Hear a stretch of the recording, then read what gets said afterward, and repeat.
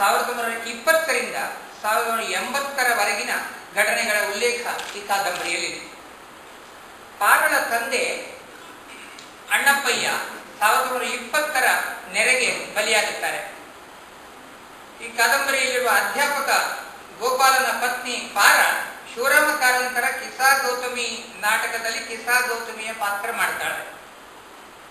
ಕೆಮ್ಮಾಡಿ ಮನೆಯ ಕೃಷ್ಣದೇವರಾಯರು ಶಾರದಾ ಆಕ್ಟಿಗೆ ಹೆದರಿ ಮಗಳ ಮದುವೆಯನ್ನು ಮುಂದೂಡುತ್ತಾರೆ.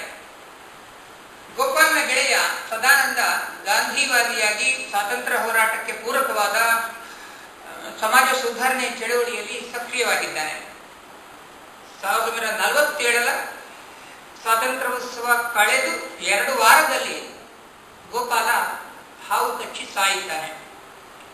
ಕಾದಂಬರಿಯ ಮೊದಲ ಭಾಗದ ಕೊನೆಯಲ್ಲಿ ಸಾವಿರದ ಒಂಬೈನೂರ ಐವತ್ತರ ಕೇರಳದ ಕಮ್ಯುನಿಸ್ಟ್ ಸರ್ಕಾರ ಹಾಗೂ ಉಳುವನೆ ಹೊರತೊಡೆಯ ಘೋಷಣೆಯ ಪ್ರಸ್ತಾಪ ಇದೆ.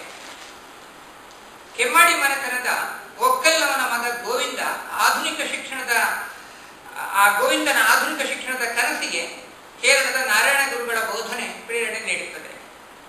ಕೆಮ್ಮಾಡಿ ಮನೆಯ ಜಮೀನ್ದಾರ ಮಾಧವ ಕರ್ನಾಟಕದ ಭೂ ಸುಧಾರಣೆ ಶಾಸನ ಜಾರಿಯಾಗುವುದಕ್ಕೆ ಎರಡು ವರ್ಷ ಮೊದಲು ಸಾಯಿದ್ದಾರೆ ಇಲ್ಲಿನ ಒಬ್ಬರು ಶಾನುಭಾಗರು ಕೃಷ್ಣದೇವರಾಯರಿಗೆ ಹೇಳುವ ಒಂದು ಮಾತನ್ನು ಗಮನಿಸಬೇಕು. ನಿಮ್ಮ ಕಾಲವೇ ಬೇರೆ, ಈಗಿನ ನಮೂನೆಯೇ ಬೇರೆ ರಾಯರೆ.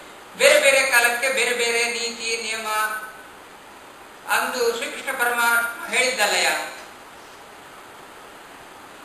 ಇನ್ನು ಒಂದು ಕಾಲ ಸೂಚಿಸುವ ಒಂದು ವಿವರ. ಇಲ್ಲಿನ ಶಂಕರಿಯ ಮಗ ಭಾರತ ಚೀನಾ ಯುದ್ಧದ ಸಂದರ್ಭದಲ್ಲಿ ಕಾದಂಬರಿಯ ವಸ್ತುವನ್ನು ಕುರಿತು ಲೇಖಕಿ ಮಿತ್ರ ವೆಂಕಟರಾಜ್ ಅವರೇ ಹೀಗೆ ಹೇಳ್ತಾರೆ ಅಣ್ಣ ತಮ್ಮಂದಿರಿಬ್ಬರ ನಡುವಣ ಪ್ರೀತಿ ದ್ವೇಷಗಳ ತಿಕ್ಕಾಟವೇ ಕಥೆಯ ಮೂಲ ವಸ್ತು. ಆದರೂ ಪಾರ ಎಂಬವಳ ಕಥೆಯು ಕಾದಂಬರಿಯ ಉದ್ದಕ್ಕೆಲ್ಲ ಹರಿದುಕೊಂಡು ಅದಕ್ಕೆ ಇನ್ನೊಂದು ಆಯಾಮವನ್ನು ಕೊಡುತ್ತದೆ. ಹಾಗೆ ಇದು ಪಾರ, ಲಕ್ಷ್ಮೀದೇವಿ, ಅವಳ ಸೊಸೆ ಕಮಲಿ ಈ ಮೂರು ಹೆಂಗಸರ ಬದುಕಿನ ಹೋರಾಟದ ಕಥೆಯು ಹೌದು.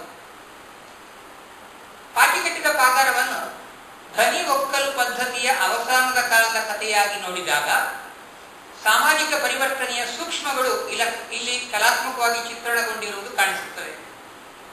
ಇಲ್ಲಿನ ಕೃಷ್ಣದೇವರಾಯರಲ್ಲಿ ಆ, ಧನಿಗಳೊಬ್ಬರ ಒಳ್ಳೆಯತನ ಕಾಣಿಸಿದರೆ ಅವರ ಮಗ ಮಾಧವನಲ್ಲಿ ಊಳಿಗಮಾನ್ಯ ವ್ಯವಸ್ಥೆಯ ಕ್ರೌರ್ಯ ಕಾಣಿಸುತ್ತದೆ. ಕೃಷ್ಣದೇವರಾಯರು ತನ್ನ ಒಕ್ಕಲಾದ ಮಂಜನ ಮಗ ಗೋವಿಂದನ ವಿದ್ಯಾಭ್ಯಾಸಕ್ಕೆ ಪ್ರೋತ್ಸಾಹ ನೀಡುತ್ತಾರೆ. ತನ್ನ ಮಗ ಮಾಧವ ಮದುವೆಯಾಗಲು ನಿರಾಕರಿಸಿದಾಗ ಕೃಷ್ಣದೇವರಾಯರು, ಆ ಮದುವೆಯ ಮದುಮಗಳು ಪಾರಳ ತಂದೆ ನಾಗಪ್ಪಯ್ಯನವರಲ್ಲಿ ಕ್ಷಮೆಯಾಚಿಸುತ್ತಾರೆ. ಪಾರಳಿಗೆ ಬೇರೆ ಗಂಡು ಹುಡುಕಿ ಅದೇ ಮಂಟಪದಲ್ಲಿ ಒಂದು ವಾರದೊಳಗೆ ಮದುವೆ ಮಾಡಿಸುತ್ತಾರೆ. ಮಂಗಳೂರಿನಲ್ಲಿ ಕಾಲೇಜಿಗೆ ಹೋಗುತ್ತಿದ್ದ ತನ್ನ ಮಗ ಕಾಲೇಜು ಪ್ರಾಧ್ಯಾಪಕರ ಮೇಲೆ ಕೈ ಮಾಡಿದ ಸುದ್ದಿ ಕೇಳಿದ ಕೃಷ್ಣದೇವರಾಯರು, ನನ್ನ ಮಗ ಸತ್ತ ಅಂತ ಉದ್ಗರಿಸುತ್ತಾರೆ. ತಮ್ಮ ಸೀತಾರಾಮನ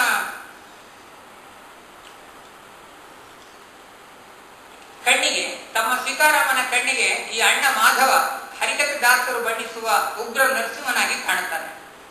ಮಾಧವನ ಕ್ರೌರ್ಯಕ್ಕೆ ಸೋಮ ತನಿಯರಂತ ಒಕ್ಕಲುಗಳು ಬಲಿಯಾಗುತ್ತಾರೆ. ಸೋಮನ ಗುಡಿಸಲು ಬೆಂಕಿಗೆ ಆಹುತಿಯಾಗುತ್ತದೆ. ತನಿಯ ನಾಪತ್ತೆಯಾಗುತ್ತಾನೆ. ಮಾಧವನ ಆಶ್ರಯದಲ್ಲಿದ್ದ ವಿಧವೆ, ಪಾರಳ ಮಗ, ಲಕ್ಷಣ, ಅಂದ್ರೆ ಲಕ್ಷ್ಮೀನಾರಾಯಣ, ಜಮೀನ್ದಾರರ ವಿರುದ್ಧ ಕಮ್ಯುನಿಸ್ಟರು ನಡೆಸುತ್ತಿದ್ದ ಗುಪ್ತ ಸಭೆಗಳಲ್ಲಿ ಭಾಗವಹಿಸುತ್ತಿದ್ದ. ಅವನ ಕೊಲೆಯ ಹಿಂದೆ ಹುಲ್ಲೆ ಮುಗದ ಹುಲಿಯಂತಿರುವ ಮಾಧವನ ಕೈವಾಡ ಕಾಣಿಸುತ್ತದೆ. ತನ್ನ ದುಶ್ಚಟಗಳಿಗೆ ಒಡನಾಡಿಯಾಗಿದ್ದ ಸೋದರ ಮಾಮ ಅನಂತಯ್ಯನನ್ನು ಕೂಡ ಮಾಧವ ನಿರ್ದಾಕ್ಷಿಣ್ಯವಾಗಿ ಮನೆಯಿಂದ ಹೊರಗಟ್ಟಿದ್ದಾರೆ. ಪಾರಳಿಗೆ ಅಶನಾರ್ಥ ಕೊಡಿಸಲಿಕ್ಕಾಗಿ ಅವನು ಗೂಂಡಗಳನ್ನು ಬಳಸುತ್ತಾನೆ ಪಾರಳಿಂದ ಹಿಟ್ಲರ್ನ ಕತೆ ಕೇಳಿದ ಮಾಧವನ ತಾಯಿ ಲಕ್ಷ್ಮೀದೇವಿ, ಪ್ರಪಂಚದಲ್ಲಿ ಇಂತಹ ರಾಕ್ಷಸರು ಇದ್ದಾರೆಯೇ ಎಂದು ಆಶ್ಚರ್ಯಪಡುತ್ತಾಳೆ. ಆಮೇಲೆ, ತನ್ನ ಮಗನೇನು ಕಮ್ಮಿ ಹಿಟ್ಲರ್ ಅಲ್ಲ ಎಂದು ಮನಸ್ಸಿನಲ್ಲಿ ಅಂದುಕೊಳ್ಳುತ್ತಾಳೆ. ಕೆಮ್ಮಾಡಿ ಮನೆಯಲ್ಲಿ ಜೋರಾಗಿ ಶ್ವಾಸ ಬಿಡುತ್ತಾಗ ಎಂದು ಕಮಲಿಯ ಸೋದರಿಯರು ಹೇಳುವ ತಮಾಷೆಯ ಮಾತು ಇಲ್ಲಿ ಸತ್ಯ ಸಂಗತಿಯಾಗಿದೆ. ಹಸನಪ್ಪನನ್ನು ನಾನೇ ಕೊಲೆ ಮಾಡಿಸಿದೆ ಎಂದು ಸುಳ್ಳು ಹೇಳುವ ಮಾಧವ ದ್ವೇಷ, ದರ್ಪ, ಹಿಂಸಾರತಿಯಿಂದ ದುರಂತದತ್ತ ಸಾಗುತ್ತಾರೆ ಇಪ್ಪತ್ತನೇ ಶತಮಾನದ ಕರಾವಳಿ ಕರ್ನಾಟಕದ ಮಹಿಳೆಯರ ಸ್ಥಿತಿಗತಿಯನ್ನು ಪಾಟಿಕಟ್ಟಿದ ಪಾಗಾರ ಕಣ್ಣಿಗೆ ಕಟ್ಟುವಂತೆ ಚಿತ್ರಿಸುತ್ತದೆ.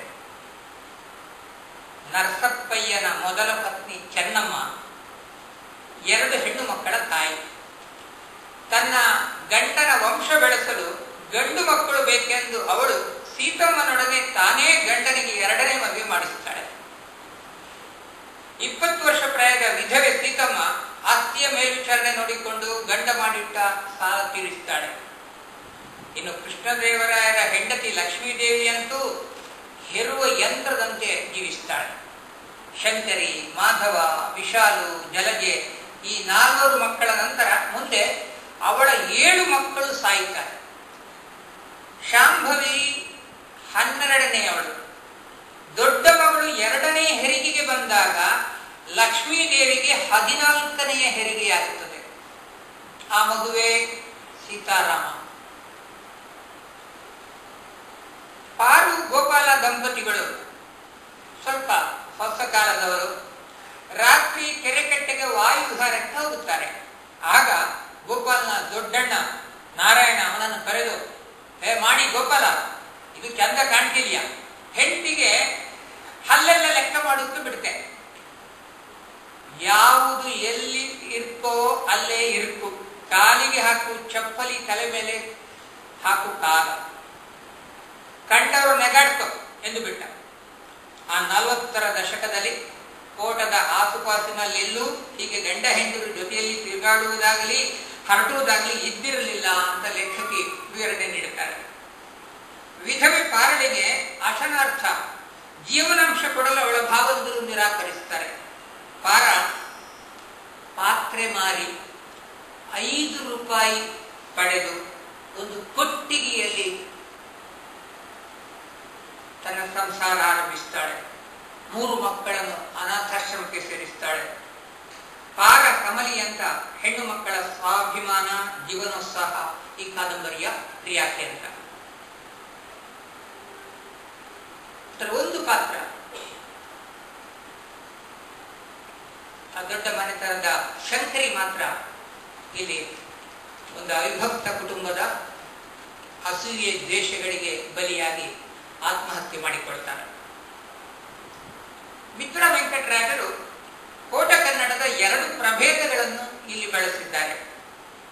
ಒಂದು ಕೋಟ ಕುಂದಾಪುರ ಸಾಲಿಗ್ರಾಮ ಕಡೆ ಇರುವ ಪ್ರಭೇದ, ಇನ್ನೊಂದು ಬಂಟ್ವಾಳ ತಾಲೂಕಿನಲ್ಲಿರುವ ತುಳುವಿನ ಒಡನಾಟದಲ್ಲಿರುವ ಕೋಟ ಕನ್ನಡದ ಪ್ರಭೇದ. ಇದು ಕಾದಂಬರಿಯ, ಕಾದಂಬರಿಗೆ ಒಂದು ಪ್ರಾದೇಶಿಕ ಚೆಲುವನ್ನು ನೀಡಿದೆ. ಹಿರಿಯ ಕಾದಂಬರಿಕಾರ ಗುಲ್ವಾಡಿ ವೆಂಕಟರಾಯರು ತನ್ನ ಇಂದಿರಾಬಾಯಿ ಕಾದಂಬರಿಯಲ್ಲಿ ಬಳಸಿದ್ದ ತುಳು ಕೊಂಕಣಿ ಒಡನಾಟದ ಕನ್ನಡ ಬಳಕೆಯನ್ನು ಈ ಲೇಖಕಿ ಸೃಜನಶೀಲವಾಗಿ ಮುಂದುವರಿಸಿದ್ದಾರೆ, ಮುನ್ನಡೆಸಿದ್ದಾರೆ. ಮೀನಾಕ್ಷಿ ತನ್ನ ಮಗಳು ಪಾರಳನ್ನು ಸಾಕಿದ ರೀತಿಯನ್ನು ಲೇಖಕಿ ವಿವರಿಸುವುದು ಹೀಗೆ. ಮೀನಾಕ್ಷಿಯು ತನ್ನ ಮಗಳನ್ನು ಮುಚ್ಚಟೆಯಿಂದ ಸಾಕಿ ದೊಡ್ಡದು ಮಾಡಿದಾಳೆ ಅನ್ನಬೇಕು. ಒಮ್ಮೆ ಅರಸಿನ ಕುಟ್ಟಿ ಪುಡಿ ಮಾಡಿ ಅದಕ್ಕೆ ಕೆನೆ ಬೆರೆಸಿ ಮಗಳ ಮುಖ ಮೈಗೆ ಹಚ್ಚಿ ಸ್ನಾನ ಮಾಡಿಸಿದರೆ ಇನ್ನೊಮ್ಮೆ ತೆಂಗಿನ ಹಾಲನ್ನು ಸವರಿ ಅವಳ ಮೈ ತೊಳೆಯುತ್ತಿದ್ದಳು. ಮಗಳ ಕೂದಲಿಗಂತೂ ಮೀನಾಕ್ಷಿ ಮಾಡದ ಉಪಚಾರವಿರಲಿಲ್ಲ. ದಾಸವಾಳದ ಹೂವನರೆದು ತಲೆಗೆ ಹಚ್ಚಿ ಸೀಗೆಕಾಯಿ ಉಜ್ಜಿ ಕೂದಲು ತೊಳೆಯುತ್ತಿದ್ದಳು. ನಸು ಹೊಗೆಯಲ್ಲಿ ಕೂದಲು ಒಣಗಿಸಿ ಒಂದೊಂದು ಕೂದಲನ್ನು ಬಿಡಿಸಿ ಜಡೆ ಕಟ್ಟುತ್ತಿದ್ದಳು. ಆ ರೀತಿ ಅನುಪಾನಗಳು ಸಾಕಷ್ಟಿದ್ದರೂ ಒಂದು ಮುದ್ದು ಮಾತಿನಿಂದ ಮೀನಾಕ್ಷಿ ಮಗಳನ್ನು ಕರೆದವಳಲ್ಲ. ಕುಳಿತುಕೊಂಡು ಪ್ರೀತಿಯಿಂದ ಮಗಳೊಡನೆ ಸುಖ ದುಃಖಗಳನ್ನು ಹಂಚಿಕೊಂಡವಳಲ್ಲ. ನಲ್ಮೆ ನುಡಿಗಳಿಂದ, ನಲ್ಮೆ ನುಡಿಗಳಿಗಿಂತ ಹೆಚ್ಚು ಬೈಗಳುಗಳನ್ನೇ ಕೇಳಿ ಪಾರಳು ಬೆಳೆದಿದ್ದರೆಂದರೆ ಸರಿಯಾಗಿತ್ತೋ ಏನೋ. ಕೆಲವೊಮ್ಮೆ ಮೀನಾಕ್ಷಿಗೆ ಏನೇನೋ ನೆನಪಾಗಿ ಮಗಳ ತಲೆಗೆ ನೀರು ಹಿಡಿಯುತ್ತಿದ್ದಂತೆ ಅನಾವಶ್ಯಕವಾಗಿ ಚೊಂಬಿನಿಂದಲೇ ಅವಳ ತಲೆಗೆ ಕುಟ್ಟಿ, ಅಯ್ಯೋ, ಅಪ್ಪನ್ನು ತಿಂದು ಹುಟ್ಟಿದವಳ? ಎಂದು ಕಣ್ಣೀರು ಸುರಿಸುವುದು. ಕಾದಂಬರಿಯಲ್ಲಿ ಹಿರಿಯ ಹೆಣ್ಣು ಮಕ್ಕಳು, ಹಿರಿಯರನ್ನು ಹೆಣೆ ಅಂತ ಸಂಬೋಧನೆ ಮಾಡುವುದು ಇದೆ. ಅದು ಮುದ್ರಣ ದೋಷವೇ ಅಂತ ಒಬ್ಬರು ಬರೆದಿದ್ದಾರೆ. ಮುದ್ರಣ ದೋಷ ಅಲ್ಲ. ಕೋಟೆ ಕನ್ನಡದಲ್ಲಿ ಎರಡು ಪರಿಗಳಿದ್ದಾವೆ. ಹೆಣ್ಣೆ ಅಂತ ಕರೆಯುವುದು, ಹೆಣೆ ಅಂತ ಕರೆಯುವುದು. ಆದರೆ ಅದರಲ್ಲಿ ಹಾಗೆ ಕರೆಯುವುದರಲ್ಲಿ ಜಾತಿ ಸೂಚಕವಾದ ಸೂಕ್ಷ್ಮ ವ್ಯತ್ಯಾಸ ಇದೆ ಅಂತ ನಾನು ಕೇಳುತ್ತೇನೆ ಇನ್ನು ಕಾದಂಬರಿಯ ಶೀರ್ಷಿಕೆ. ಪಾಚಿಕಟ್ಟಿದ ಪಾಗಾರ ಎಂಬ ಶೀರ್ಷಿಕೆ ಕೆಮ್ಮಾಡಿ ಮನೆಯಲ್ಲಿ, ಧನಿಗಳ ಮನೆಯಲ್ಲಿರುವ ಪಾಚಿಕಟ್ಟಿದ ಮನಸ್ಸುಗಳನ್ನು ಸೂಚಿಸುವಂತಿದೆ. ಈ ಪಾಚಿಕಟ್ಟಿದ ಪಾಗಾರದ ಒಳಗೆ ಕಮಲಿ ಸೀತಾರಾಮರಂತಹ ಹೊಸ ತಲೆಮಾರಿನವರು ಸಂಕಟ ಪಡುತ್ತಾರೆ ಕಾದಂಬರಿಯಲ್ಲಿ ಪಾಚಿಯ ಹಸಿರು ಬಣ್ಣ ಹಿನ್ನೆಲೆಗೆ ಸರಿದು ಕ್ರಾಂತಿಯ ಪರಿವರ್ತನೆಯ ಸಂಕೇತವಾದ ಕೆಂಪು ಬಣ್ಣ ಮುನ್ನೆಲೆಗೆ ಬರುತ್ತದೆ.